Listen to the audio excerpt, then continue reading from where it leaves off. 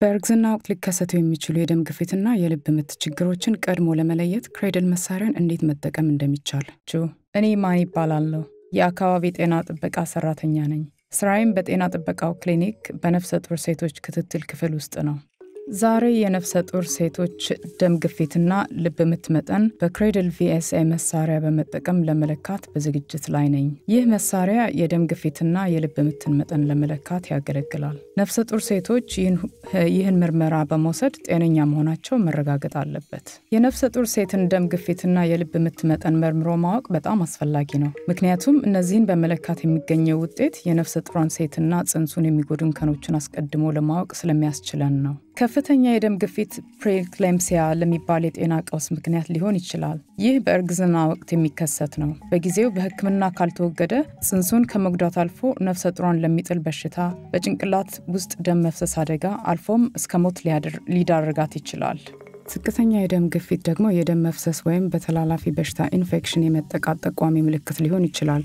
ይህ ተመርምሮ አስፈላጊው ሕክምና ካልተሰጠ እናትየዋንና ልጇን ለሞት ሊዳርግ ይችላል። አዲስ የመጣው CRADLE VSA መሳሪያ አጠቃቀም ቀላል ነው። መሳሪያው አረንጓዴ ምልክት ካሳየ ሴትየዋ በመልካም ጤንነት ላይ እንዳለች ከሞላ ጎደል ይጠቁማል። ቢጫ መብራት ካሳየና ቀስቱ ወደ ላይ ወይም ወደ ታች ካመለከተ ተጨማሪ ምርመራዎች እንዲካሄዱ ወይም ሕክምና እንደሚያስፈልግ ይጠቁማል። ቀይ መብራት ካሳየ ግን አስቸኳይ እርምጃ መወሰድ አለበት። አስቀድሜ CRADLE VSA ስለተባለ መሳሪያ አጠቃቀም በማሳየት እጀምራለሁ። ከምርመራው በፊት ሴትየዋ ደህና ከሆነች ለአምስት ደቂቃ ያህል ማረፍ ይኖርባታል። ቀጥሎም ወገቧን ተደግፎ እግሯ ሙሉ ለሙሉ መሬት ላይ በማሳረፍ መቀመጥ አለባት። በክንዷ ላይ የሚሸፍኑ ልብሶች ካሉ በማውለቅ እጇን በማስተካከል ማረፊያ ላይ ታስቀምጥ። ሁለት አይነት የግፊት መለኪያ ከረጢቶች አሉ። መደበኛው የከረጢት መጠን በብዙ ሴቶች ክንድ ልክ ነው። እጅ ውስጥ በማጥለቅ ወደ ተፈለገው ቦታ ያንሸራቱት። የመለኪያውን ከረጢት ጠበቅ ሲያደርጉት የብረቱ ዘንግ ተሰምሮ ከሚታየው ጥቁር መስመር ማለፍ አለበት። ካላለፈ ከረጢቱ በጣም አነስተኛ ነው። ትልቁን ከረጢት ይጠቀሙ። ቢጫው ምልክት ከሴትየዋ ክርን መጋጠሚያ በላይ መሆኑን ያረጋግጡ። በክርን መጋጠሚያና በመለኪያው ከረጢት መካከል የሁለት ጣቶች ያህል ክፍተት ሊኖር ይገባል። የሚለውን መጫኛ ይጫኑ። ከዚያም beep የሚል ድምፅ ይጠብቁ። ከዚያም ድምፅ ሲሰሙ CRADLE VSA ው ለስራ ዝግጁ ነው። መጀመሪያ ሴትየዋ ተረጋግታና ጸጥ ብላ መቀመጧን ያረጋግጡ። መንፋት ይጀምሩ። ሌላ ቢፕ የሚል ድምፅ ሲሰሙ መንፋቱን ያቆሙ። ይህ የሚሆነው ቁጥሩ ከ180 በላይ ሲሆን ነው። ጨምር የሚሉ ምልክቶች እንደገና ከታዩ እስኪጠፉ ድረስ አየር መሙላቱን ይቀጥሉ። የተነፋው የአየር ከረጢት በራሱ ጊዜ ይተነፍሳል። ከዚያም የደም ግፊት መጠኑን እና የልብ ምት ቁጥሩን በማሳያው መስኮት ይጠብቁ። አረንጓዴ መብራት ካዩ የተመረመረችው ሴት ደም ግፊትም ሆነ የልብ ምት የተስተካከለ መሆኑን ያሳያል። ቢጫ መብራት ካዩና ቀስቱ ወደ ላይ ወይም ወደ ታች ካመለከተ ሁል ጊዜ ምርመራውን ከ15 ደቂቃ ቆይታ በኋላ እንደገና ማድረግ ያስፈልጋል። ለሁለተኛ ጊዜ ቢጫ መብራት ካሳየ ተጨማሪ ምርመራዎች መካሄድ ይኖርባቸዋል። የተመረመረችው ሴትም ሆስፒታል በመሄድ ሕክምና መከታተል ሊኖርባት ይችላል። በመቀጠል መብራቱ ቢጫ ከሆነና ቀስቱ ወደ ላይ ካመለከተ የምትወስዱት እርምጃ ምን መሆን እንዳለበት አስረዳቸዋለሁ።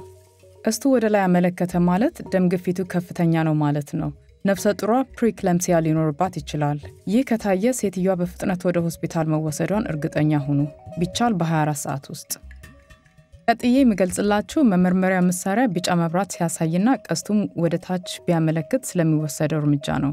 እናም ቢጫ መብራት ካሳየና ቀስቱ ወደ ታች ካመለከተ ይህ ማለት የደም ግፊቱ አነስተኛ መሆኑን ወይም የልብ ምቱ ፈጣን እንደሆነ ያመለክታል። የሴትየዋን ሁኔታ በመገምገም በቀጣዩ እርምጃ ላይ መወሰን ያስፈልጋል። ደም እየፈሰታት ነው? ትኩሳት አላት?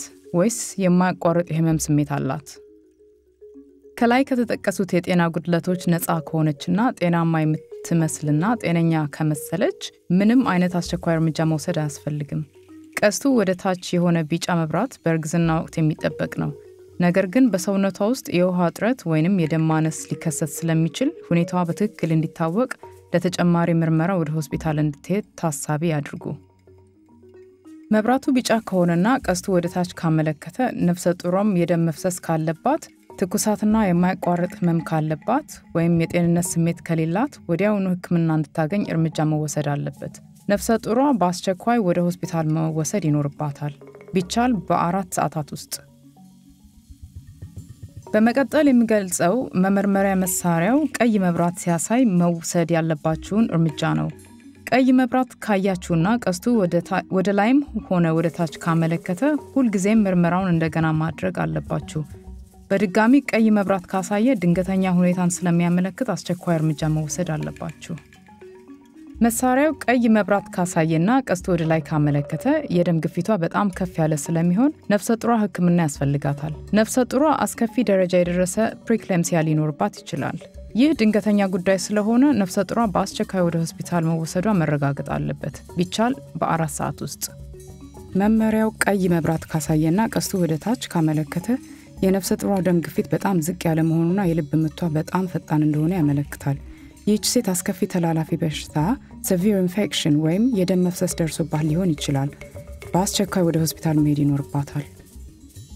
እስካሁን በተደረገው ገለጻ CRADLE VSA በመጠቀም የደም ግፊትም ሆነ የልብ ምት መጠን እንዴት እንደምትለኩ ተምራችኋል። እናም በትራፊክ መብራት መልክ የሚታዩትን መብራቶች መመሪያ በመከተል ነፍሰ ጡሮችን ማገዝና መንከባከብ ትችላላችሁ። አስታውሱ፣ መሳሪያው አረንጓዴ መብራት ካሳየ ነፍሰ ጡሯ በመልካም ጤንነት ላይ ልትሆን እንደምትችል ያመለክታል። መሳሪያው ቢጫ መብራት ካሳየና ቀስቱ ወደ ላይ ካመለከተ ነፍሰ ጡሯ ፕሪክለምሲያ ሊኖርባት ስለሚችል ተጨማሪ ምርመራዎች ያስፈልጓታል። መብራቱ ቢጫ ከሆነና ቀስቱ ወደ ታች ካመለከተ ይህ በእርግዝና ወቅት በአብዛኛው የሚከሰት ሲሆን ነገር ግን ወደፊት እየባሱ ሊሄዱ የሚችሉ የጤና ጉድለቶችን ይጠቁማል። በዚህ ጊዜ የህመምተኛዋን ሁኔታ በመገምገም ተጨማሪ እርምጃ መውሰድ ያስፈልጋል። ቀዩ መብራት ከበራና ቀስቱ ወደ ላይ ወይም ወደ ታች ካመለከተ ይህ ድንገተኛ ጉዳይ ስለሆነ አስቸኳይ ሕክምና ያስፈልጋል። ስለተከታተላችሁኝ አመሰግናለሁ።